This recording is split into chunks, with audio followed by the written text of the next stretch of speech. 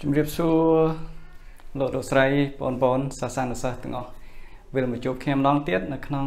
កម្មវិធីរៀនភាសាអង់គ្លេសពីចម្ងាយឬរៀនភាសាអង់គ្លេសអនឡាញអញ្ចឹងអឺ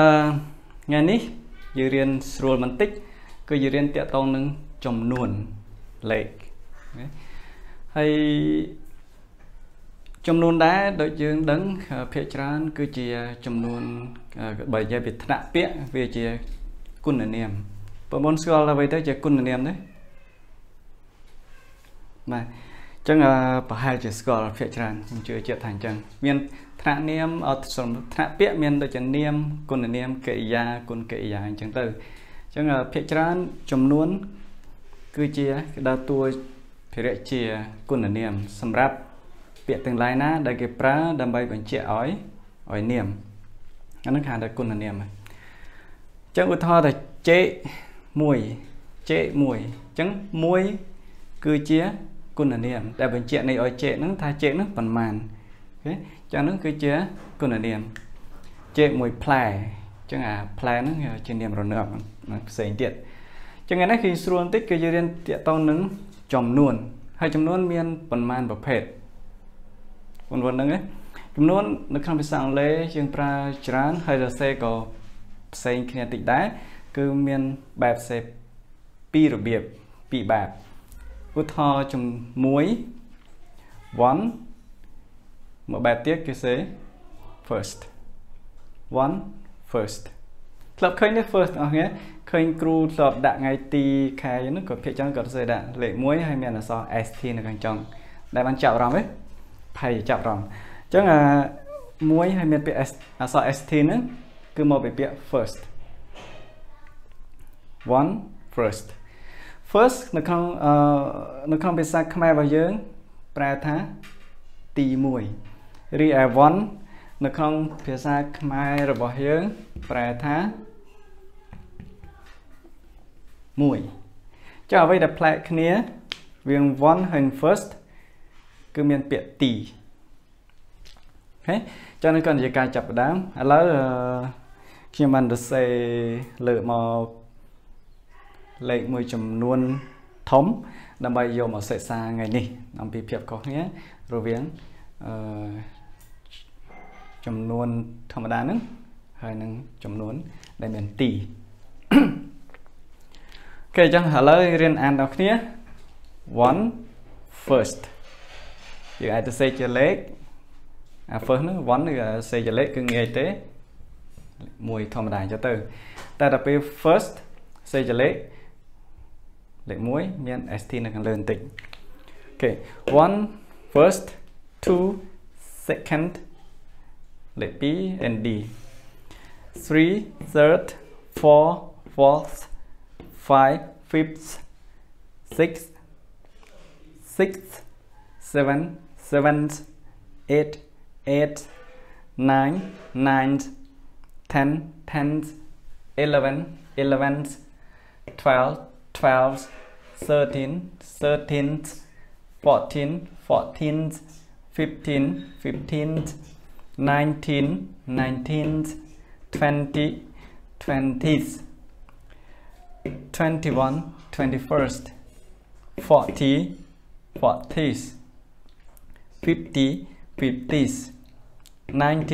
90s អូខេអញ្ចឹងនេះគឺជារបៀបអានសម្រាប់លេខមួយចំនួនដែលខ្ញុំលើកយកមកនេះអញ្ចឹងបងប្អូនចេះអានណាបើអត់ចេះអានខាចុះខាឡើងទៅព្រោះយើងអាចខាបានណាអឹមចឹងខ្ញុំសូមបញ្យល់បន្តិចហើយជាកម្លឹះនៅក្នុងការយើងអាច ជារបៀបនៃការចំណាំតើយើងតើមានភាពខុសគ្នាយ៉ាងម៉េចរវាងការសរសេរលេខ1ហើយនិងការសរសេរទី1ចំពោះ3ពាក្យខាងលើនេះ3លេខខាងលើនេះ គឺយើងត្រូវតែបន្ទិញឲ្យចាំ one គឺទៅជា first ចុះការសរសេរគឺខុសគ្នា100% one first អឺ F I R S T ទៅ two second អូខេខុសគ្នា second S E C O N D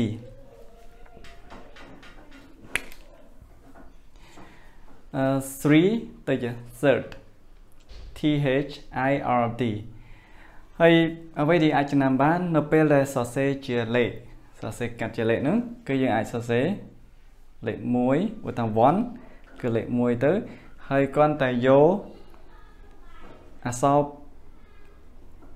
2ខ្ទង់នៅខាងក្រោយ មានអក្សរអីកាត់យកនឹង2ខ្ទង់ទៅហើយទៅដាក់នៅកន្លែងនេះអញ្ចឹងវាវាត្រូវឧទាហរណ៍ second nd អញ្ចឹងយកលេខ2ហើយនឹង nd search ad អញ្ចឹងយកលេខ3ហើយនឹង c អក្សរ a ហើយ d អាន search ចឹងអានេះគឺយើងត្រូវតែទិញចាំរៀនសេឲ្យសំទៅហើយយើងនឹងចេះតែឥឡូវតកតងនឹងផ្សេងទៀតគឺមានភាព ងាយស្រួលជាងនឹងបន្តិចគឺគេគ្រាន់តែបន្ថែម th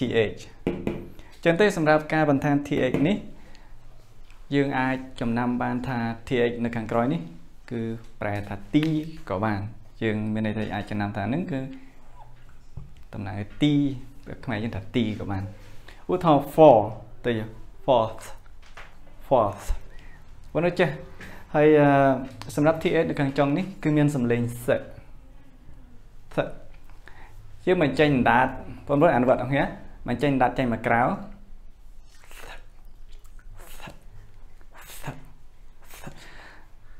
ចេញមកក្រៅហើយទាញទៅក្នុងបញ្ចេញសំឡេងខ្យល់សឹកអូខេអញ្ចឹងសម្រាប់ th មួយទៀតគឺមានសំឡេង the ឧទាហរណ៍ពាក្យ that យើងប្រកបហើយយើង pronounce យ៉ាងម៉េច that that ចំណាត់នៅពីក្នុងវិញ that that that ដាត់កលឹះនៅខាងក្នុងឃើញអញ្ចឹងឥឡូវយើងរៀនសឹកវិញបន្តទៀត5អានថ្មីកន្លែង5មិនមែនទេចឹងយើងចំណាំមួយទៀតឲ្យតែមានអក្សរក្នុងភាសាអង់គ្លេសភាគភាគច្រើន ពាក្យពាក្យច្រើនដែលបញ្ចប់ដោយ v ហើយនិង e គឺគេបំលែងឲ្យ v ហើយនិង e នេះទៅជា f អូខេទៅជា f v ហើយនឹង e បំលែងទៅជា f រួចហើយទ្រាំនឹងយើងបន្ថែម th នៅខាងចុងឬបន្ថែមអក្សរ e នៅខាងចុងទៅតាមច្បាប់នៃការបំបែកពាក្យផ្សេងផ្សេងហើយ6 ស្រួលទេតើថែម th 7ក៏ដូចគ្នា8ដូចគ្នា9កន្លែងត្រូវចំណាំបន្តិចដែរ9គឺទូទៅគឺមាន e នៅខាងចុងបញ្ចប់ដោយអក្សរ e ប៉ុន្តែនៅពេលដែលយើងប្រើជាទី9វិញ 9 អត់មានអក្សរ e ទេអូខេ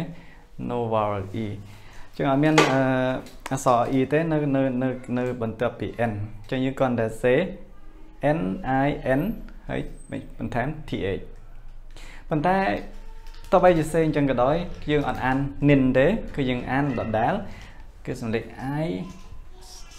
ដដែល ninth ninth tenth ធម្មតាសេលេ10 th 11ក៏ធម្មតាដែរ12បាទដដែលដោយច្បាប់ខាងដើមហ្នឹងចប់ដោយ v ហើយនឹង e អញ្ចឹង ve នេះ ដូរទៅជា f ត្រឹមនេះយើងបន្ថែម th 12ទៅជា 12s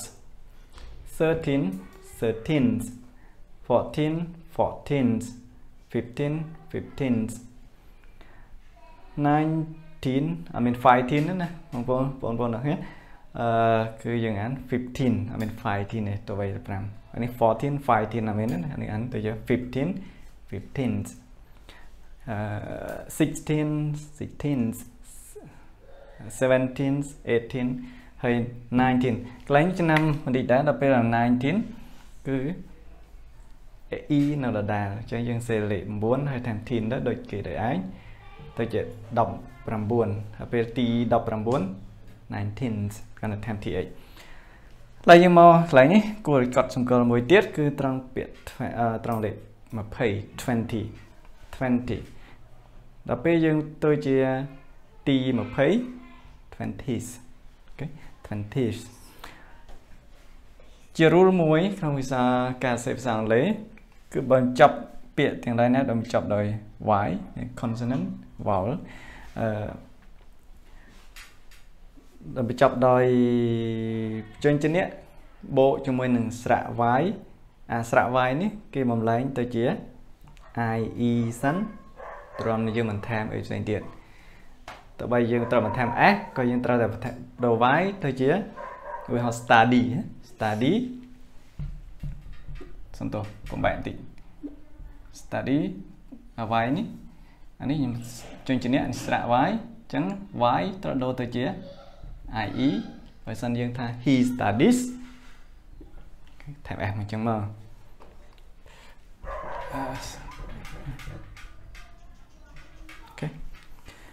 ចឹង20 20ទៅ 20s 20s ហើយចុះនៅពេលទៅជា21 21មិនចឹងពាក្យច្រើនគឺយើងសរសេរបញ្ចប់ដោយ hyphen សញ្ញាត្រេនេះ21 22អញ្ចឹងទៅហើយដល់ពេលទី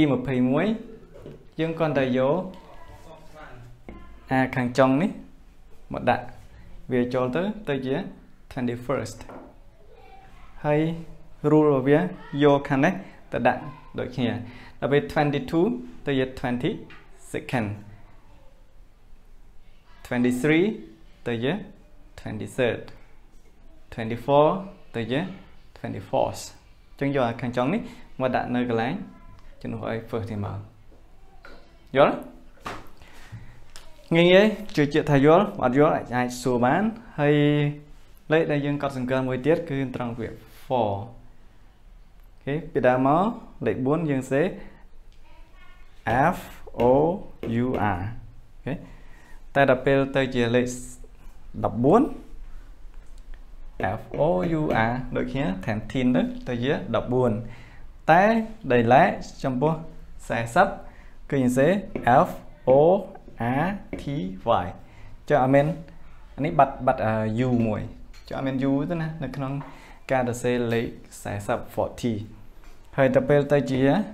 ចំនួន 40s 50 50 50s អឺប្លាប្លាដូចគ្នាទាំងអស់ទៅហើយដល់90 90s អូខេអញ្ចឹងនេះជាក្បួនចំណាំខ្លះខ្លះដែលខ្ញុំបាន កំពុងលើកយកមកបង្ហាញ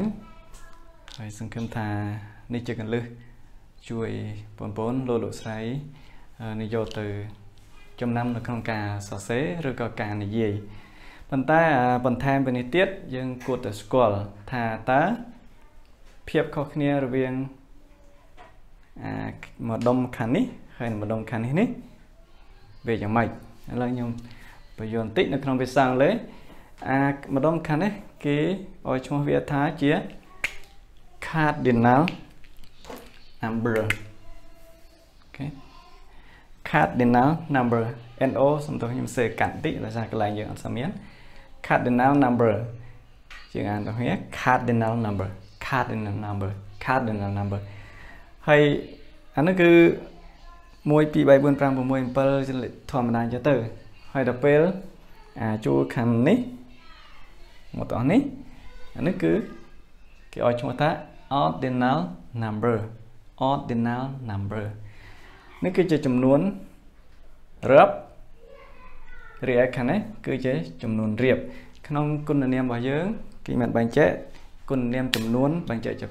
2គុណនាមចំនួនរាប់ហើយនឹងគុណនាមចំនួនរៀបហើយយ៉ា សម្រាប់បើភាសាបច្ចេកទេសទៀតដូចជាតាមខ្ញុំចាំបានអានេះគឺបកតិសង្ខាហើយអានេះ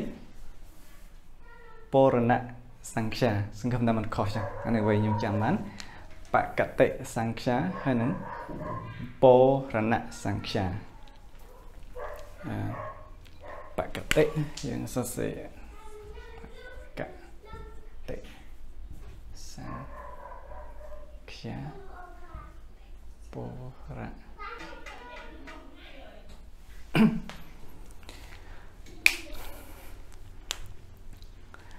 បកតិ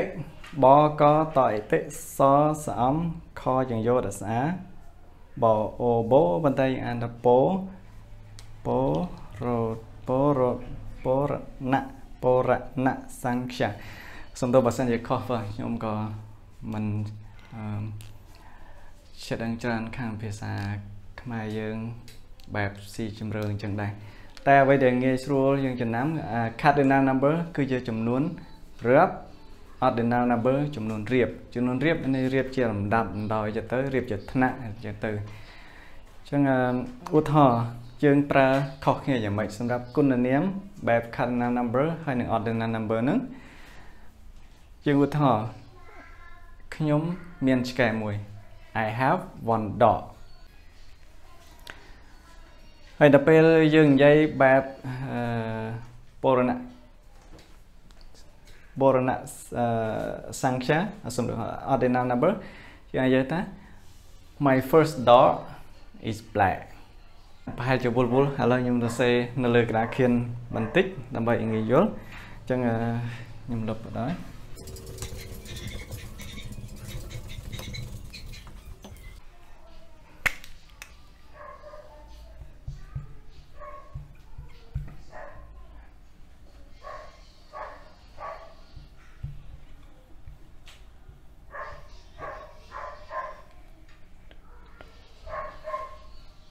okay I have two dogs I have two dogs អញ្ចឹង two នេះគឺជាចំនួន cardinal number ជា cardinal number ដែលនេះគឺជាគុណនាម ដែលបញ្ជាក់ឲ្យបញ្ជាក់ឲ្យនាមបញ្ជាក់ឲ្យនាមអីគឺនាមដកថាដកនឹងមានមានប្រមាណដកនឹងគឺមានមាន2 2ដកមានឆ្កែ2ហើយបើ my first dog is brown.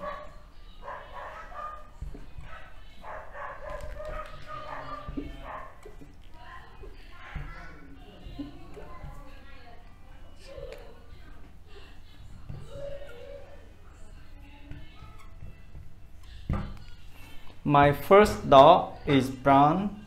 My second dog is black.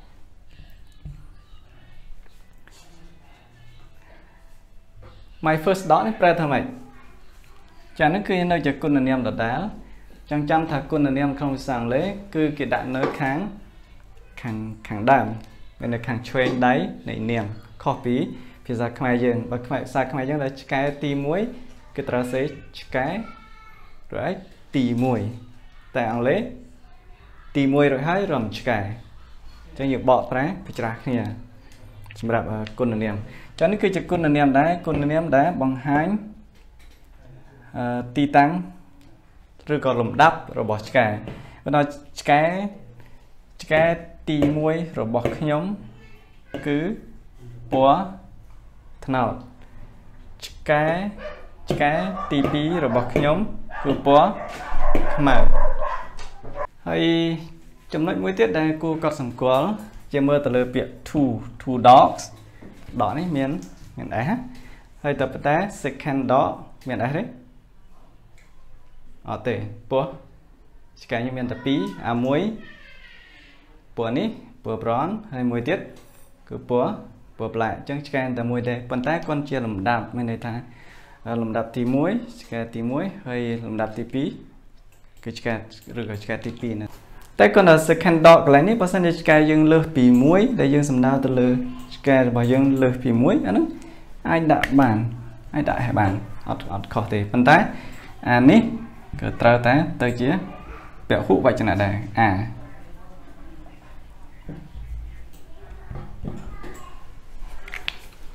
បាទនឹងមិនស្ស្មាញតាមនឹងទេសំខាន់ឲ្យយើងយល់អំពីការប្រើអឺគុណនាមបែប គុណនាមចំនួនបែប cardinal number ហើយនឹងគុណនាមចំនួនបែប ordinal number អញ្ចឹងមានតែប៉ុណ្ណេះគិតថាលោកលោកស្រីបងប្អូនទាំងអស់គ្នានឹងបានទទួលទទួលបាននៅមេរៀនថ្ងៃនេះ ដែលយើងរៀនតកតងនឹងចំនួនរាប់ហើយនឹងចំនួនរៀបឬក៏យើងនិយាយភាសាបច្ចេកទេសថាបកតិសង្ខាហើយនឹងបរណៈ សង្ខាអញ្ចឹងខ្ញុំសំណាងសូមអរគុណច្រើនបើមានសំណួរឬក៏ចង់សួរឲ្យបន្ថែម ចង់ឲ្យខ្ញុំលើកកន្លែងណាមួយយកមកបង្រៀនឬបង្ហាញបន្ថែមទៀតអាច comment លើ Facebook ហើយតាម YouTube សំណាងល្អទាំងគ្នាបាយបាយ